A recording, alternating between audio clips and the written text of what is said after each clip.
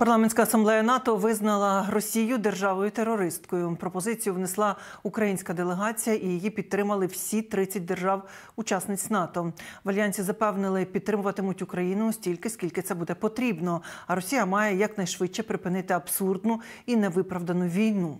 Які ще рішення ухвалила парламентська асамблея НАТО? Про це говоримо з Михайлом Прудником. Це політолог, керівник міжнародного відділу п'ятого каналу. Михайло, доброго вечора. Отож, Росія держава терористка вже й на рівні НАТО це визнано. Що далі?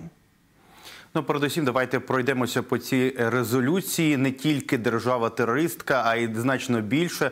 Е, Ну, по-перше, на рівні е, парламентської асамблеї визнається, що Росія держава-терористка. Е, Також визнається, що режим, який нині є в Кремлі, діє як терористична організація. Тобто, фактично, ця резолюція підкреслює, що все російське керівництво зараз є терористами. Наступним пунктом є притягнення цих терористів до кримінальної відповідальності за воєнні злочини, е, скоєні проти мирного населення. І за цього країни НАТО пропонують створити спеціальний міжнародний трибунал, який розслідуватиме ці воєнні злочини і каратиме цих воєнних злочинців, зокрема ті, які і ховаються подалі від поля бою, десь у Кремлі.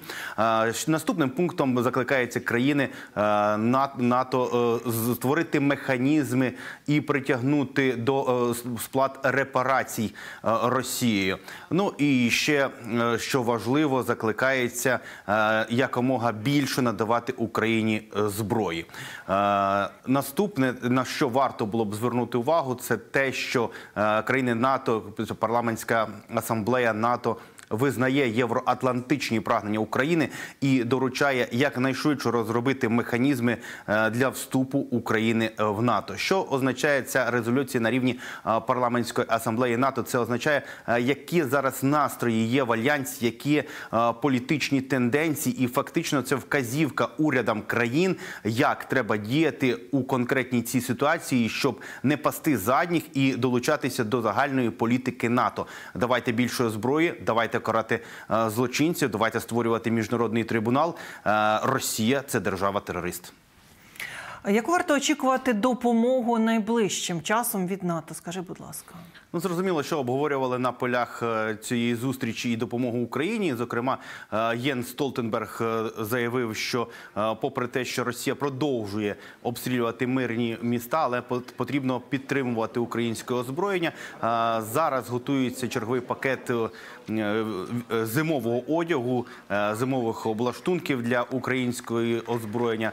Іспанія, яка головує на цьо- головує е, під час цього саміту, саміту в Мадриді, е, заявила, що відкриває спеціальний тренуваль- тренувальний центр для українських військових, долучається до ініціативи Європейського союзу. І вже наприкінці листопада перші українські військові зможуть е, зможуть готу- готу- готуватися в Толедо. Це табір для снайперів. Приблизно по 400 українських снайперів готуватимуть упродовж двох місяців. Кожні два місяці. Також Іспанія готує для українців і генератори, і додаткове обми- о- о- о- додаткове обладнання е, для того, щоб було гарно вести війну.